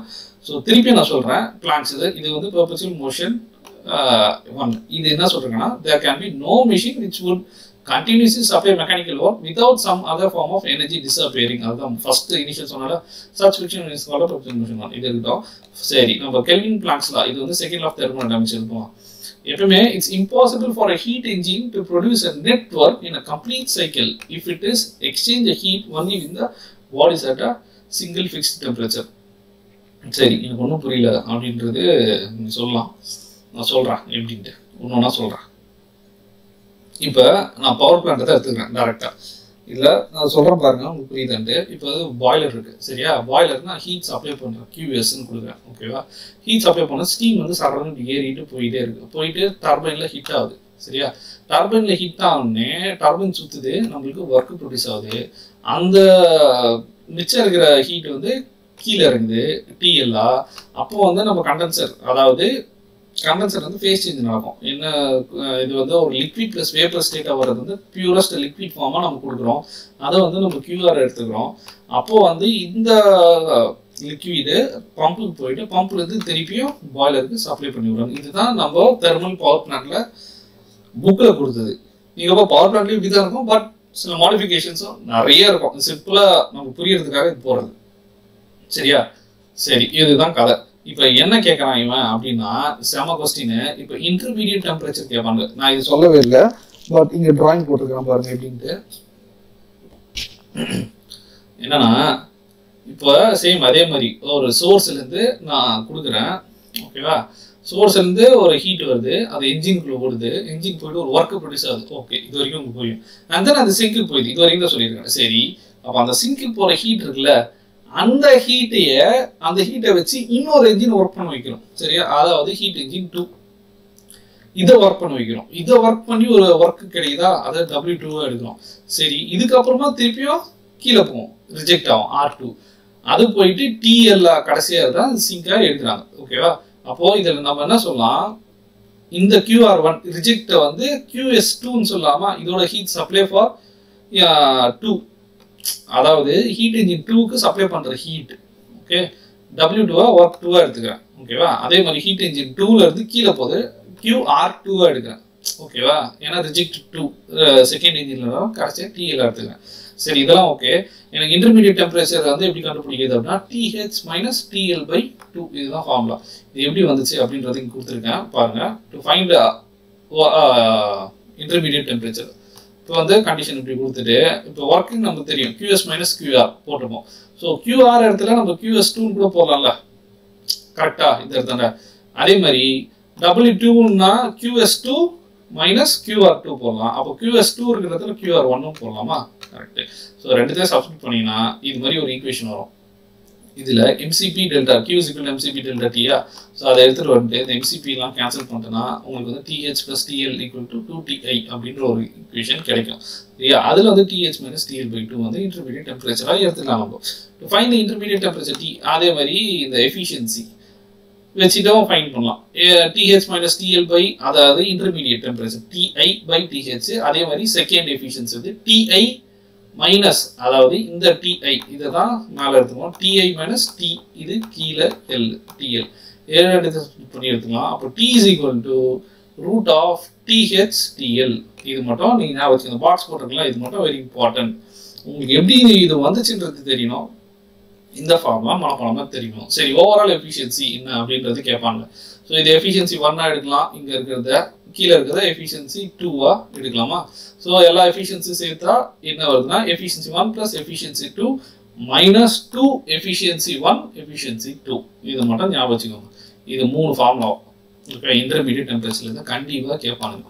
கேள்வி மேலே கேள்வி கேட்டுக்கிட்டே இருப்பானுங்க. சரி இப்போ வந்து நம்ம கெல்வின்ஸ் பிளான் ஸ்டேட்மெண்ட்லேருந்து நம்ம சொன்னோம். அடுத்தது வந்து கிளாஷியஸ் ஸ்டேட்மெண்ட்டு கிளாஷியஸ் ஸ்டேட்மெண்ட் தான் சொல்கிறோம்னா தரமாக சொல்லியிருப்பாரு. ஃப்ரிட்ஜ் இருக்குது இது மீன் இது சிக்கன் பீஸ் இது பீஃப் ஸ்டிக்கி அந்த மாதிரி வரைஞ்சிருக்கேன் சரியா? இப்போ ஃப்ரிட்ஜ் இருக்குது அந்த ஃப்ரிட்ஜில் இருந்து என்ன பண்ணுறோம்னா இப்போ ஒரு ஆப்பிளோ ஒரு மீட்டோ இருக்குன்னா அந்த டெம்பரேச்சர் எடுத்து நம்ம வெளியே விடணும். சரியா? அப்போ இதை நம்ம ஒரு பர்டிகுலர் டெம்பரேச்சரில் வைக்கணும். அதுதான் இம்பார்ட்டண்டான மேட்டர் ஸோ அதுக்கு நம்ம ஒரு இன்டர்னலில் ஒரு எனர்ஜி கொடுக்குறோம். ஒரு ஒர்க்கு கொடுக்குறோம். சரி அதை தான் சொல்கிறேன் it's impossible for any device to transfer energy from low temperature reservoir to high temperature reservoir without any external aid எக்ஸ்டர்னலாக நம்ம ஒரு இன்புட் கொடுக்கறதுனால மட்டும்தான் அப்படி வந்து உள்ளே இருக்கிற டெம்பரேச்சர் வந்து உள்ளே இருக்கிற அந்த டெம்பரேச்சரை வெளியே எடுத்து தர முடியும். க்ளோஸ்டு கண்டெய்னரில் ஃப்ரிட்ஜ் ஓகேவா ஃப்ரிட்ஜ் மட்டுமா? இல்லை. அதே மாதிரி நம்ம ஊட்டி அதுக்கப்புறமா பெரிய குளிர் பிரதேசங்கள்லாம் போனாங்கன்னா ஹீட்டர் வச்சுப்பாங்க அது ஏன்னா உள்ளே இருக்கிற டெம்பரேச்சர் வந்து வாம கதகதப்பாக இருக்கும் அப்படின்றதுக்காக நம்ம காரில் கூட இருக்கும் ப்ளூவில் போட்டிருப்போம் இந்த பக்கம் ரைட்டில் போட்டிருப்பாங்கல்ல டெம்பரேச்சர் ஏன்னா ஹீட்டர் அது. சரியா? அதுவும் சேம் ப்ராசஸ் தான். சரியா? இப்போ அது எப்படின்னு சொல்கிறேன் பாருங்க. அதே மாதிரி சோர்ஸு இது வந்து ரெஃப்ரிஜரேஷன் ஆரம்பம் போடுறது சிங்க் சரியா? டிஹெச் இப்போ வந்து அப்படியே தலைக்கீழ மாறுதா? அது எஃபிஷியன்சி கண்டுபிடிப்போம். அது எதில்? ஹீட் என்ஜினில் இதில் வந்து அப்படியே கோஎஃபிஷியன்ட் ஆஃப் பர்ஃபார்மன்ஸ் அப்படியே தலைக்கீழ வருது. ஓகே அதை நம்ம ஒர்க்கை வந்து ப்ரொடியூஸ் பண்ணுறோம் இதில் ஒர்க்கை இன்புட் கொடுக்குறோம். அப்படின்ற போது நம்ம தலைக்கீழ வரும். ஸோ இதில் எப்படி எடுக்கிறேன் அப்படின்றது பாருங்க. ஒர்க்கை இன்புட்டாக கொடுக்குறேன்னா வெளியே வந்து அட்மாஸ்பிக் டெம்பரேச்சர் இருக்குது ஓகே உள்ளே வந்து நம்ம இந்த டெம்பரேச்சர் இருக்கணும். ஃப்ரிட்ஜ் வந்து எவ்வளோ டெம்பரேச்சர் இருக்கணுமோ அந்த டெம்பரேச்சருக்கு நம்ம மாற்றணும் ஸோ அதுக்கேற்ற மாதிரி ஃப்ரிட்ஜோட ஒர்க்கிங் வந்து எப்படின்னு தெரியும் உங்களுக்கு? இருந்தாலும் சொல்கிறேன் இப்போ இதுதான் ஒரு கம்ப்ரஸரு கம்ப்ரஸர் வந்து இந்த எக்ஸாஸ்ட் ஃப்ரிட்ஜுக்குள்ளே போயிட்டு இந்த வரும். ஓகேவா அந்த எவாப்ரேட் ஆகிட்டு இது வரதை வந்து கம்ப்ரஸ் பண்ணி திருப்பியும் வந்து அதை எவாப்ரேட்டர் அந்த சைக்கிள் மரமே ஓகே நான் வரும்போது சொல்கிறேன் அதை. ஸோ அதுக்குள்ளே போயிட்டு எக்ஸ் த்ராட் வேல் எக்ஸ்பான்ஷன் வேல் போய்கிட்டு வரும். சரியா? இது சைக்கிள் வந்து இன்னும் தெளிவாக சொல்கிறேன் நான். பண்ணி போடலாம் ஓகே சரி இங்கேருந்து சொல்கிறேன் சோர்ஸ் இருக்கா? சோர்ஸு ரெஃப்ரிஜரேஷனு சிங்க் இப்போ நான் ஒரு இன்புட் கொடுக்குறேன். கரெக்டாக அப்போது தலைகீழ ரன் ஆகும். ஓகேவா அப்போது நம்ம வெளியே தான் நம்ம ஹீட்டை கொடுக்கணும். எப்படி? அட்மாஸ்பியருக்கு ஹீட்டு வெளியே போகும். சரி அதுக்கேற்ற மாதிரி ஒர்க் நடக்கும். இதை வந்து டிஎல் டி ஒரு புக்கில் டி டூ கொடுத்துருப்பான் டிஎல்னு கொடுத்துருப்பான் டிஹெச் டி ஒன் அது மாதிரி மாற்றி மாற்றி கொடுத்துருப்பாங்க பட் ஸ்டாண்டர்டாக ஞாபகம் வச்சுக்கோங்க. Q two high high temperature Q two by QR minus Q two ஓகேவா எதுக்கு? ரெஃப்ரிஜரேஷன் ரெஃப்ரிஜரேஷன் மேலே கியூ டூ வரணும். அப்படின்னு ஞாபகம் வச்சுக்கோங்க. அதே மாதிரி coefficient of performance heat pump அதே மாதிரி தான். ஹீட் பம்புக்கு அதாவது உள்ளே சொல்கிறேன் ஹீட்டர் சொல்கிறேன் என்ன ஆகுது அப்படின்றதுக்கு. ஸோ அதே மாதிரி தான். இது கொடுத்துட்டு இதுலேயும் உள்ளே வந்து ஹீட்டாக வச்சுக்கிட்டோம். அதனால Q one divide by Q one minus Q two சரியா? இது வந்து கோவிஷன் ஆஃப் பர்ஃபார்மன்ஸ் ஒரு ரிவர்சபிள் சைக்கிள் அதாவது கார்னர் சைக்கிள் போட்டிங்கன்னா அது எம்சிபி வந்து கேன்சல் பண்ணிங்கன்னா T two T one minus T two அதே வரும். அதே மாதிரி T one by T one minus T two சரி இது இப்போ நான் சொல்கிறது இந்த நாலு ஃபார்முலா மட்டும் ஞாபகம் வச்சுக்கோங்க. ரெஃப்ரிஜரேஷன் என்னன்னு தெரிஞ்சிருக்கும் உங்களுக்கு இப்போ. அண்ட் தென் ஹீட் பம்ப் என்னன்னு தெரிஞ்சிருக்கும். ரெஃப்ரிஜரேஷன் ஒரு பெரிய டாப்பிக்கு முடிஞ்ச அளவு சின்னதாக எடுக்க ட்ரை பண்ணுறாங்க எப்படின்றது. அண்ட் தென் இது ரொம்ப ரொம்ப இம்பார்ட்டன்ட் என்ன கதைனா coefficient of heat pump equal to ரெஃப்ரிஜரேஷனோட effect இது ரெண்டுத்துக்கும் என்ன அப்படின்ற மாதிரி கேட்பாங்க. ஸோ இந்த ஃபார்முலா மட்டும் ஞாபகம் வச்சுக்கோங்க. என்னன்னா ஹெச்பி இஸ் ஈக்குவல் டு அதாவது heat pump equal to one plus refrigeration ஓகேவா சொன்னால் நம்ப மாட்டாங்க. டூ மார்க் கொஸ்டினில் கேட்டில் கேட்டிருந்தான். இப்போ டூ தௌசண்ட் நைன்டீன்லேயே எயிட்டீன்லேயே கேட்டிருந்தான். இந்த இந்த ஃபார்முலா மட்டும் கேட்டான்.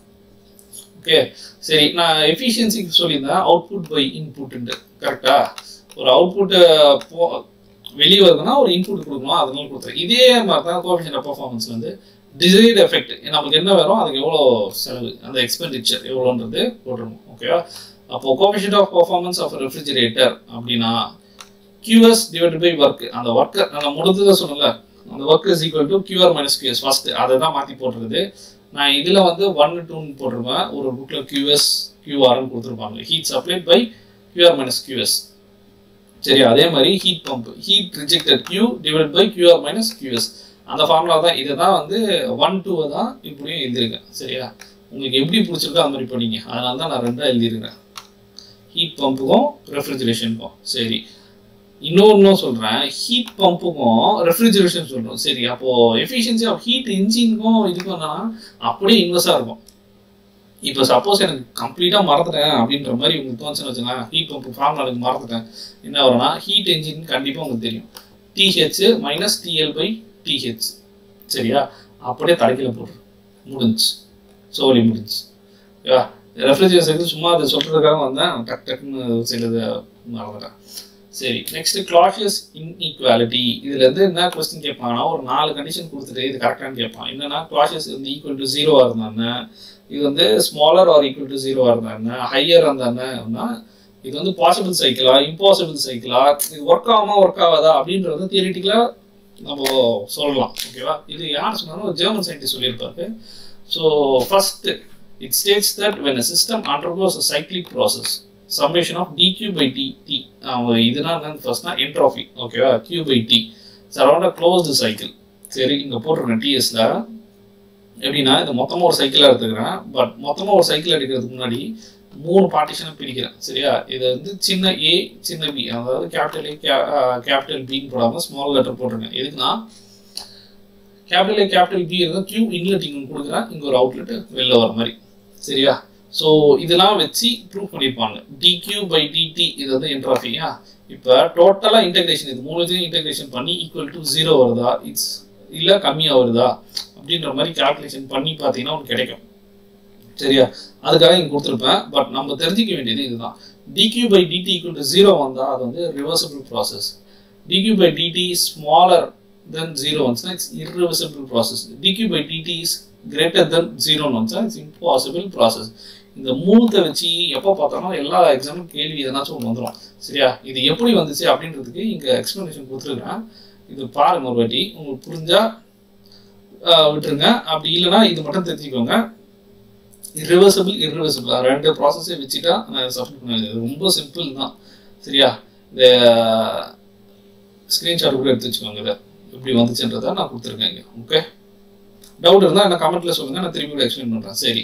இதெல்லாம் முடிஞ்சு இப்போ தான் ரொம்ப இம்பார்ட்டண்டான இடத்துக்கு வந்துருவோம். என்னன்னா ஃபர்ஸ்ட் சிம்பிள் ரேங்கின் சைக்கிள் இந்த ரேங்கின் சைக்கிள் பற்றி நம்ம படிக்க போகிறோம் இது பவர் பிளான்ட்டில் இருக்கிற டர்பைன்ஸு அதெல்லாம் எப்படி ஒர்க் ஆகுதுன்னு சொல்லியிருந்தால ஸோ அதை பற்றி தான் இப்போ நம்ம படிக்க போகிறோம் ஸோ ஃபர்ஸ்ட் செகண்ட் லால என்ன சொல்லியிருப்பேன்? ஒரு ஹீட் ரிஜெக்ஷன் இருக்கும். ஃபர்ஸ்ட் லால என்ன ஒரு பர்பஸ் முடிச்சுன்னா கண்டிப்பாக ஒரு ஹீட் சப்ளை இருக்கும். இது வந்து கான்ஸ்டன்டாக மண்டல் ஏற்றிக்கோங்க சரியா? ஃபர்ஸ்ட் சிம்பிள் ரேங்கின் சைக்கிள் ஒரு ரேங்கின் சைக்கிள் எப்படி ஒர்க் ஆகுது? அப்படின்றது ஃபர்ஸ்ட் கியூஎஸ் இது வந்து பாய்லர் இது டர்பைன் இது கண்டென்சர் இது பம்ப் ஓகேவா ஃபஸ்ட்டு ஹீட் சப்ளை பண்ணுறோம் கியூஎஸ் கொடுக்குறேன். கியூஎஸ் கொடுத்துட்டு இதுதான் நான் ஃபர்ஸ்ட்டாக எடுக்கிறேன். இது வந்து ஹெச் ஹெச் ஒன்னு எடுக்கிறேன். சரி ஹெச்னா என்தால்ஃபி நான் எப்படி இப்படின்றது ஒன்று ஒன்றா சொல்கிறேன் சரியா? ஃபர்ஸ்ட் இன்லெட்டாக போயிடுது இங்கே ஒரு நாசல் வச்சுருப்பாங்க. ஓகேவா நாசல் எதுக்குன்னா இன்னும் வெலாசிட்டி அதிகம் கொடுத்து டர்பைனை ரன் பண்ண வைக்கிறதுக்கு. ஸோ கொடுத்ததுனால நம்மளுக்கு ஒரு ஒர்க்கு கிடைக்குது. அது சுற்றுறதுனால மிச்சம் இருக்கிறது கண்டென்சருக்குள்ளே போகுது. கண்டென்சர் வந்து லிக்விட் ப்ளஸ் வேப்பராக அதாவது ஃபேஸ் சேஞ்ச் நடக்குது. சரியா? இங்க வந்து ஹெச் டூ என்தால்பி இந்த ஹெச்ஜி ஹெச்எஃப் டூலாம் போட்டிருக்கல இது என்னன்றது சொல்றேன் பாருங்க இப்போ. சரி இப்போ இந்த கண்டென்சரில் போட்டு இந்த லிக்விட் வருது. இது வந்து பம்புக்குள்ள போயிடும் பம்புக்கு நம்ம ஒரு இன்புட்டாக கொடுக்குறோம். என்ன இது ஒரு ஒர்க் எலக்ட்ரிசிட்டி ஒரு மோட்டர் வச்சு ரன் பண்றோம் ஓகே தென் அந்த பம்ப் போயிட்டு தென் பாய்லருக்குள்ளே போகுது. அங்க வந்து என்னன்னா ஹெச் ஃபோராக எடுக்கிறேன். இது ஹெச் த்ரீ சரி இதெல்லாம் ஓகே எனக்கு இந்த ஹெச்இனா ஹெச்எஃப்னா என்ன? இந்த ஹெச் த்ரீனா என்ன? டபிள்யூபினா என்ன? அப்படின்ற டவுட்லாம் இப்போ ஒன்று வரும். அதுக்கு முன்னாடி என்ன சொல்கிறேன் நான்? ஒரு ஸ்டீம் எடுத்தீங்கன்னு வச்சுங்களேன் அந்த ஸ்டீமில் வந்து ரெண்டாக பிரிக்கலாம். அதில் வந்து ஒரு ட்ரை ஃபேக்டர் இருக்கும் ட்ரைனஸ் ஃப்ராக்ஷன் சொல்லுவாங்க அது ஒன்று இருக்கும். ப்ளஸ் வந்து வெட்டாக இருக்கும். ட்ரையாகவும் இருக்கும் வெட்டாகவும் இருக்கும். ஓகேவா அதை தான் சொல்ல வரேன். சரி இப்போ அது அது ஒரு தனி பெரிய ப்ராசஸ் அது. இப்போ ஹை ஸ்பீட் ஸ்டீம் அந்த மாதிரி சொல்லுவாங்க. ஒரு டர்பைன் ரன் பண்ணிக்குது. ஏன்னா டர்பைன் வந்து நிறைய மாஸ்டர் கண்டென்ட் இருக்கக்கூடாது. அந்த ஸ்டீமில் ஸோ இண்டஸ்ட்ரி பொறுத்த வரைக்கும் அந்த மெட்டீரியல் அது இது ஒரு தனி ஒரு கடல் மாதிரி போகும். ஓகேவா நம்ம அந்தளவுக்கு டீப்பாக பொறுத்தவரை இப்போ ஜென்ரலாக ட்ரைனஸ் ஃப்ராக்ஷனாக என்ன அப்படின்றது மட்டும் பார்ப்போம். டோட்டல் மாஸ் ஆஃப் ஸ்டீம்னா ஜீனா என்னன்னா நான் வந்து ட்ரை எடுத்துக்கிறேன். வெட்டு வந்து எஃப்னு எடுத்துக்கிறேன். ஓகே சரி. ஈக்குவல் டு எம்டின்னு போட்டுருக்காங்க. இப்போ ட்ரைனஸ் ஃப்ராக்ஷனுக்கு இதுதான் equation MG divide by MG plus MF ஓகேவா ட்ரைனஸ் ஃப்ராக்ஷன் எவ்வளோ இருக்குன்னா ஜீரோ பாயிண்ட் எயிட் ஃபைவ்க்கு ஈக்குவலாக இருக்கணும். அப்படி இல்லைன்னா அதை விட கொஞ்சம் இதாக இருக்கும் ஓகேவா சரி இதெல்லாம் இருக்கட்டும். இப்போ ஹெச் த்ரீ தானே அப்படின்றது ஒரு டவுட் வரும். இப்போ ஹெச் ஒன்னா என்தால்பி என்தால்பி ஹெச் ஒன் சொல்லிட்டேன். இப்போ ஹெச் டூவில் என்ன நடக்குது? இங்கே வந்து ஃபஸ்ட்டு நம்ம எதுவுமே போடல. சரி செகண்டில் என்ன சொன்னால் ஏன்னா mixture of liquid plus vapour ரெண்டும் வரதுனால ஹெச்ஜி ப்ளஸ் ஹெச்எஃப் டூ போகிறோன்னா இப்போ லிக்விட் இந்த கண்டென்சர் என்ன பண்ணுது? மொத்தமாக லிக்விடாக மாற்றுது அதனால ஹெச் த்ரீ வந்து ஹெச்எஃப் டூவை போடலாமா? கரெக்டாக சரி இப்போ பம்பு போகுது. பம்ப் இங்கேருந்து போயிட்டு இந்த எந்தால்ஃபியில் எந்தால்பியில் இன்டர்னல் எனர்ஜி ப்ளஸ் ஒர்க் கரெக்டாக இப்போ இந்த ஹெச் த்ரீ ப்ளஸ் இங்கே ஒரு இன்டர்னலாக இங்கே ஒரு ஒர்க்கு கொடுக்குறோம். ப்ளஸ் டபிள்யூபின்னு போடலாம். போடலாம் கரெக்டாக H equation three plus WP எதுக்கு சொல்கிறேன்னா ஃபார்முலாஸ் படிக்கும்போது நீங்கள் மகப்பானதை வந்து ட்ராயிங் டிராயிங் கூட நீங்கள் எடுத்துக்கலாம். அதுக்காக சொல்கிறேன் எல்லாத்தையும் மகப் பண்ணணும்னு அவசியம் இல்லை. அண்ட் தென் உங்களுக்கு டிஎஸ் டிராயிங் தெரியும். என்ன சொல்லுவாங்கன்னா இந்த லைனு இங்கே இந்த ஃபேஸ் வந்து லிக்விடு இது லிக்விட் ப்ளஸ் பேப்பர் இது பேப்பர் சேச்சுரேட்டட் லைன் கர்வ் இருக்கும். அதெல்லாம் இருக்கட்டும். முதல்ல நம்ம ஃபார்முலாஸ் பார்த்துருவோம் எஃபிஷியன்சி வந்து அவுட்புட் பை இன்புட் அவுட்புட் நம்ம என்ன சொல்லுவோம்? டர்பைன் வருது அவுட்புட்னு சொல்லுவோம். சரி கரெக்டு அதே மாதிரி இன்புட் வந்து கியூஎஸ்ஸாக எடுத்துப்போம். இன்புட் கியூஎஸ்ஸு கொடுக்குறோம். அதே மாதிரி பம்புக்கும் ஒரு இன்புட் கொடுக்குறோம்ல. கரெக்டாக அப்போ அவுட்புட்னா அந்த இன்புட்டை மைனஸ் பண்ணிக்கணும்ல அவுட்புட் கிடைக்குது. அவுட்புட் மைனஸ் அந்த ஒர்க் ஆஃப் பம்ப் எவ்வளோ அந்த மோட்டர் எடுத்துக்கும் அந்த எலக்ட்ரிசிட்டி அதே மைனஸ் பண்ணிட்டு டிவைட் பை கியூஎஸ் சரியா? இப்போ டர்பைன் அப்படின்ற இடத்துல இந்த டபிள்யூடி இருக்குல்ல. ஹெச் ஒன் மைனஸ் ஹெச் டூன்னு போடுறான். ஏன் போடுறான்? இது ஹெச் ஒன் எடுத்துருக்கேன் இது ஹெச் டூ எடுத்துருக்கேன் என்தால்பி அது ரெண்டுத்தையும் மைனஸ் பண்ணி போகிறதுனால இந்த டர்பைனோட எனக்கு இது கிடைக்குது. ஒர்க் ஆஃப் டர்பைன் இப்போ டபிள்யூபி அப்படியே போடுறேன். டபிள்யூபிக்கு ஒரு கதை சொல்கிறேன்ன்றது கியூஎஸ் கியூஎஸ்னா இந்த ஹீட் சப்ளைடு சரியா? ஹீட் சப்ளைடு டிஃப்ரென்ஸ் கியூ ஒன்னா ப்ளஸ் வந்து ஃபோர் டிஃப்ரென்ஸ் இருக்கா? அப்போது சொல்லலாமா? ஹெச் ஒன் மைனஸ் ஹெச் ஃபோர்ன்ட்டு சூப்பர் இது சொல்லிடலாம். அண்ட் தென் அப்புறம் இந்த ஒர்க் பம்பை வந்து என்ன சொல்லணும்னா zero point double zero one into delta P ஞாபகம் வச்சுக்கோங்க. ரொம்ப ரொம்ப இம்பார்ட்டன்ட் ஓகேவா? டெல்டா பினா உங்களுக்கு தெரியும் ப்ரெஷர் டிஃபரன்ஸ் ஓகேவா? ஆக்சுவல் பம்ப் எப்படி இருக்குன்னா delta P into zero point double zero one divide by zero point eight five okay? சரி இப்போ என்தால்பி இந்த ஹெச்எஃப்டி இதெல்லாம் என்ன டிஃப்ரென்ஸ் எனக்கு ஒன்றும் புரியல அப்படின்ற மாதிரி டவுட் இருக்கும். இது ஏன் போகிறோம்னா என்தால்பி வந்து ஹெச்எஃப் ப்ளஸ் எக்ஸ் ஹெச்எஃப்டின்னு சொல்லலாமா? ஹெச்எஃப்னா வெறும் ஃப்ளூயிடு இதுனா கேஸ் ப்ளஸ் ஃப்ளூயிடு ஓகேவா? இதுதான் டிஃப்ரென்ஸ் பண்ணிக்க ஓகே ட்ரைனஸ் ஃப்ராக்ஷன் அதே மாதிரி என்ட்ராபி என்ட்ராபினா எஸ்ஸாக இருக்கும். அதே மாதிரி F plus X S SG minus SF அதே மாதிரி ஸ்பெசிஃபிக் வால்யூம் இதெல்லாம் வந்து இதை வச்சுட்டு கொஸ்டின்ஸ் கேட்கலாம். இதில் அப்ளிகேஷன் கொஸ்டின்ஸோ ப்ராப்ளம் கொஸ்டின் வரும்போது இதெல்லாம் யூஸ் ஆகும். இப்போ உங்களுக்கு இதெல்லாம் தெரிஞ்சிச்சுன்னா இந்த டேர்ம்ஸ்லாம் உங்கள் மடையில் இருந்துச்சுன்னா ப்ராப்ளம்ஸ் பண்ணும்போது ஓகே இதுதான் அது அப்படின்ற மாதிரி போகலாம் சரியா? இது வந்து சிம்பிள் ராக்கிங் சைக்கிளுக்கான எக்ஸ்பிளனேஷன் இவ்வளோவும் கொடுத்தது. ஸோ நெக்ஸ்ட் நம்ம என்ன போகிறோம்னா ரீஹீட் ராக்கிங் சைக்கிள் அப்படின்றதுக்காக போகிறோம் ரீஹீட் ராக்கிங் சைக்கிள் கிட்டத்தட்ட சேம் அதே மாதிரி தான் இதில் என்ன ஒரு சிலா சிலாக்கிட்டு மேலே பார்த்துருப்போம்னா அதே மாதிரி தான் இந்த ஹீ ஹெச் ஒன் ஃபஸ்ட்டு போயிட்டு ஒரு ஹை ப்ரெஷர் டர்பைனில் ஹிட் ஆகும். ஹை ப்ரெஷர் டர்பைன் ஹிட் ஆன அந்த அவுட்லெட்டை நம்ம வந்து இதில் வந்து டேரெக்டாக அந்த அவுட்லெட் என்ன பண்ணுவோம்னா தூக்கி வந்து டேரெக்டாக இந்த பாய்லர்லேயே விட்ருவோம் ஓகேவா ஸோ பாய்லரில் திருப்பி சூடாகிட்டு அது என்ன பண்ணும்? திருப்பி லோ ப்ரெஷர் டர்பைன் போகும். லோ ப்ரெஷர் டர்பைனில் போயிட்டு ஒரு ஒர்க் ப்ரொடியூஸ் ஆகும். ஓகேவா? இந்த ஒர்க்கு அந்த ஒர்க்கு ஓகேவா? ஸோ இவங்க என்ன சொல்லிட்டாங்க? ரெண்டு ஒர்க்கு கிடைக்குது அப்படின்னு ஹை எஃபிஷியன்சின்னு லூஸ் தரமாக சொல்கிறாங்க பட் ஆனால் அப்படி கிடையாது. ஏன்னா ரெண்டு இன்புட் நீ கொடுத்து ரெண்டு ஒர்க்கு தான் எடுக்கிற. எஃபிஷியன்சி வந்து ரொம்ப கிரேட்டரெல்லாம் உனக்கு கிடைக்கல. சரியா? சேமாக தான் வருது. ஒர்க்கு நீ பிரித்து கொடுக்குற அவ்வளோதான் ஸோ அதே மாதிரி தான் இதுவும் சேம் பிரின்சிபல் கியூஎஸ் ஒன் கொடுக்குறேன். First QS one heat supply கொடுக்குறேன். அப்போ வந்து பாய்லரில் குதிச்சு ஹெச் ஒனுக்கு இப்படி போகுது. ஹை ப்ரெஷர் டர்பின் போகுது. ஹை ப்ரெஷர் டர்பின்ல என்ன ஆகுது? ஒர்க் ஒன்று கிடைக்குது. அதுக்கப்புறம் ஹெச் டூ என்தால்பி டூ ஆகுது. என்தால்பி டூ தூக்கி திருப்பி பாய்லருக்குள்ள வருவேன். பாய்லர்லேருந்து கிடைக்கிறது திருப்பி ஹெச் த்ரீ ஸ்பீ அந்த ஸ்டீம் கிடைக்குது. ஹெச் த்ரீலேருந்து டேரெக்டாக லோ ப்ரெஷர் டர்பினுக்கு இங்கே போகிறேன் லோ ப்ரெஷர் டர்பின் போயிட்டு என்ன ஆகுதுன்னா அது திருப்பியும் ஸ்டீம் ப்ளஸ் லிக்விடாக கன்வெர்ட் ஆகுது. அண்ட் தென் இங்கே வந்து நம்ம என்ன போகிறோம் கியூ கியூஆர் இது ஆனால் ரிஜெக்டட் கண்டென்சர் போவாங்க கண்டென்சரில் ஹீட்டை வந்து கம்மியாக்கிட்டு வெறும் லிக்விட் ஃபார்மாக தூக்கி பம்பு கொடுக்குது. ஸோ அந்த பம்பில் இருந்து திருப்பியும் பாய்லர் போகுது. இந்த சைக்கிள் திருப்பி திருப்பி வருது. சரியா? சரி இதெல்லாம் ஓகே இதில் என்ன மேட்ரு அப்படின்னா எதுக்கு இந்த கதை சொல்கிறேன் அப்படின்றதுக்காக சொல்கிறேன் இதே அதே ஃபார்முலா தான். எஃபிஷியன்சி ஆஃப் இந்த சைக்கிள் கேட்டானா ரீஹீட் ரேங்கின் சைக்கிள் கேட்டானா அவுட்புட் பை இன்புட் தான். பட் அவுட்புட்னா கிடைக்குது. நம்மளுக்கு ரெண்டு டர்பின் அவுட்புட் கிடைக்குதா? ஓகே இன் டிவைட் பை அதே மாதிரி இன்புட்டும் ரெண்டு கொடுக்குறேன். QS one plus QS two கரெக்டாக கியூஎஸ் ஒன்ன்றது நம்ம ஃபஸ்ட்டு கொடுக்குறது. கியூஎஸ் டூன்றது இதில் வர அந்த ஹீட்டு அதாவது அந்த சுடு தண்ணி. பாய் இது ஸ்டீமில் போட்டு கொடுக்குறது. சரியா? இது ரெண்டும் கொடுத்துட்டு அதே மாதிரி இப்போ டர்பைன் ஒன்னுக்கு எந்த அல்ஃபீனா இப்போ டர்பைன் ஒன் இது இந்த எழுத்தா இருப்பியா ஹெச் ஒன் மைனஸ் ஹெச் டூன்னு எழுதலாமா? இங்கே இருக்குன்னா H one minus H two அடுத்தது low pressure turbine low pressure turbine இங்கே இருக்குது ஸோ இங்கே வந்து என்ன சொல்லலாம் நம்ம? ஹெச் த்ரீ இருக்குது ஹெச் ஃபோர் இருக்குது சொல்லலாமா? H three minus H four அதே மாதிரி. அதே மாதிரி ஒர்க் பம்ப் வந்து zero point double zero one into delta P எழுதலாமா? கரெக்டாக QS one heat supplied heat சப்ளைடுன்னு நம்ம சொல்லலாமா? First supply H one minus H six okay. H one minus H six எழுதிடலாம். அதே மாதிரி heat supply two heat supply டூக்கு அதாவது இந்த கியூஎஸ் டூ இதுக்கு நம்ம என்ன எழுதலாம்? இதே எழுதலாமா? H one sorry H three minus H two எழுதலாம். கரெக்ட் தானே? ஹெச் த்ரீ வெளில போடு. H three minus H two correct ஓகேவா? இது மாதிரி உங்களுக்கு டிராயிங்கை ஃபர்ஸ்ட் அனலைஸ் பண்ண தெரிஞ்சிச்சுன்னா நீங்கள் வந்து டேரெக்டாக நீங்களே ஃபார்மாக ஃப்ரேம் பண்ணி எழுதிக்கலாம். ஒரு ஒரு புக்கில் ஒரு ஒரு மாதிரி கொடுத்துருப்பாங்க. எல்லா புக்கிலையும் கம்பேர் பண்ணி எனக்கு இதுதான் ஈஸியாக தெரிஞ்ச மாதிரி இருந்துச்சு. சரியா? அதனால தான் எழுத எழுதிருக்கேன். இதையே ஃபாலோ பண்ணிங்கன்னா உங்களுக்கு பெட்டராக இருக்கும். இது ஒன்று டூன்னு எடுக்கிறது. ஓகேவா அடுத்தது ரீஜெனரேட்டிவ் ஹீட் சைக்கிள் ரொம்ப ரொம்ப இம்பார்ட்டன்ட் இதுல இருந்து கேள்வி கேட்டுக்கிட்டே இருப்பாங்க.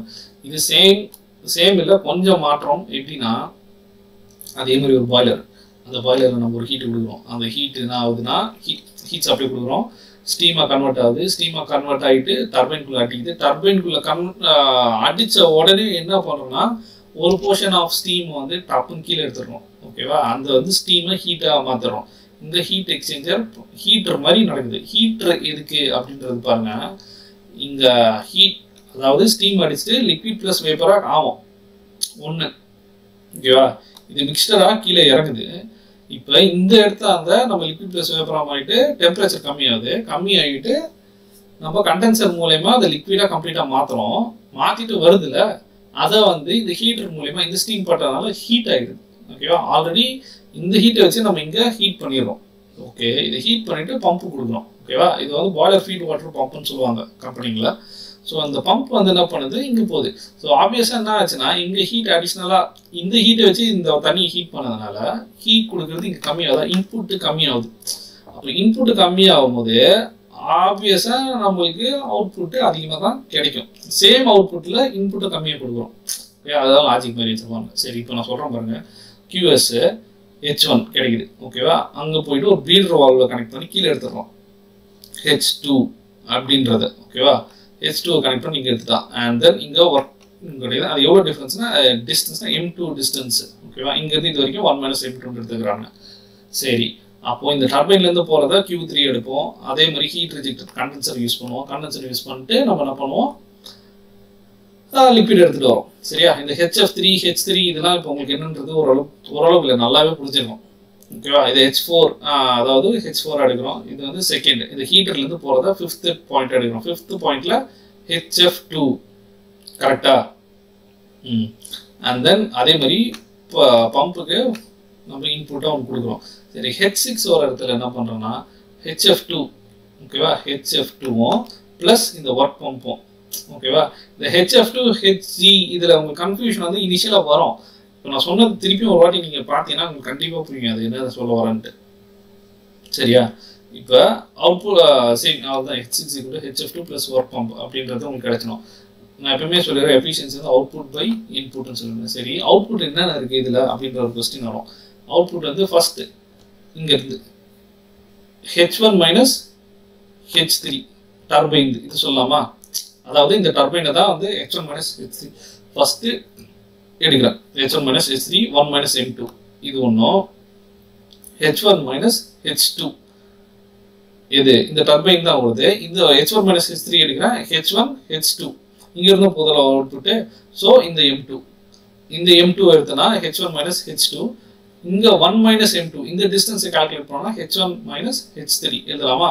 ஸோ இதே எழுதிடுறேன் divide by output divide by input நமக்கு தெரியும்.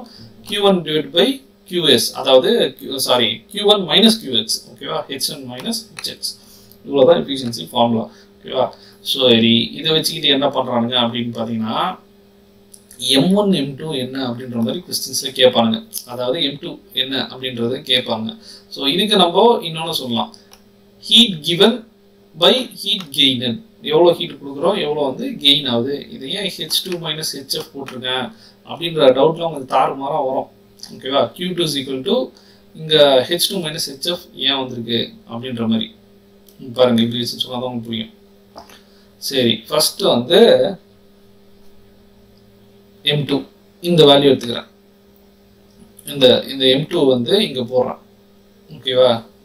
இது கிவன் ஹீட் கிவனுக்கு எம் டூ வந்து H two H two minus HF ஓகேவா? ரெண்டுத்து டிஃப்ரென்ஸ் பண்ணால் இந்த ஹீட் கிடச்சிடும் அவ்வளோ கிவன் கொடுத்துருக்குது. சரி இப்போ அடுத்தது ஹீட் கெய்டன் எவ்வளோ வாங்கியிருக்கு அப்படின்றது. இப்போ வந்து ஒன் மைனஸ் எம் டூ இது எடுத்துக்கிறோம். ஒன் மைனஸ் எம் டூ எடுத்துக்கிட்டு ஹெச் ஃபைவ் ஓகேவா H five minus H four இந்த ரெண்டுத்துக்கு டிஃப்ரென்ஸு இதை பார்த்தீங்கன்னா உங்களுக்கு இது கிடைச்சிடும் சரியா? இப்போ இது ரெண்டுத்தையும் சப்ஸ்ட் பண்ணி அடிச்சு கொடுத்தீங்கன்னு வச்சிங்கன்னா உங்களுக்கு ஒரு ஈக்குவேஷன் மாதிரி கிடைக்கும். எம் டூ ஹெச் டூ இது எல்லாமே சப்ஸ்டியூட் பண்ணிங்கன்னா இது கிடைக்கும் இது என்னன்னா நீங்கள் ஒரு வாட்டி ரஃபாக நீங்கள் கால்குலேஷன் பண்ணி பார்த்தீங்கன்னா உங்களுக்கு ஈஸியாக வந்துடும் ஓகேவா? நான் இதுதான் டோட்டலாக ஹெச் இந்த மைனஸ் ஹெச் ஃபோரை விட்டுட்டேங்க அதனால இங்கே எழுதிருக்கேன் ஓகேவா?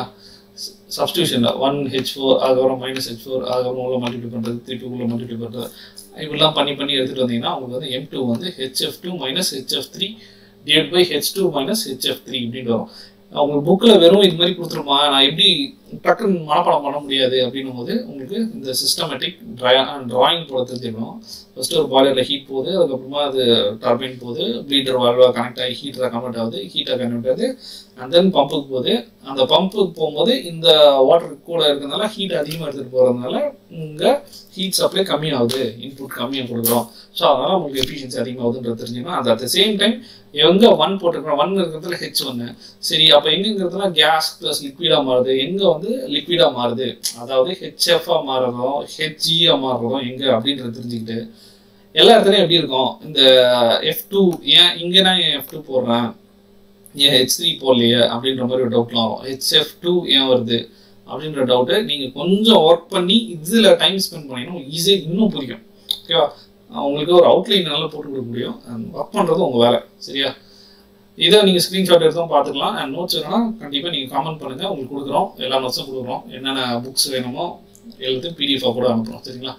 அண்ட் நெக்ஸ்ட் வந்து நம்ம சைக்கிள்ஸ் அந்த ஆட்டோ சைக்கிள் டீசல் சைக்கிள் மிச்சது சைக்கோமெட்ரி கொஞ்சம் கொஞ்சம் மித்தர தோத்தல் இதெல்லாம் ரொம்ப இம்பார்ட்டன்ட் இந்த டாபிக் வரைக்கும். அங்கே அதுலேருந்து ப்ராப்பர்ட்டிஸ்லாம் கொஞ்சம் கொஞ்சம் விட்டது. மிச்சது எல்லாம் நெக்ஸ்ட் கிளாஸில் முடிச்சிடலாம். சரியா? ஸோ டீல் தென் பை நீங்கள் நெக்ஸ்ட் ப்ராப்ளம் போடும்போது உங்களுக்கு இன்னும் ஈஸியாக புரியும். Okay okay guys bye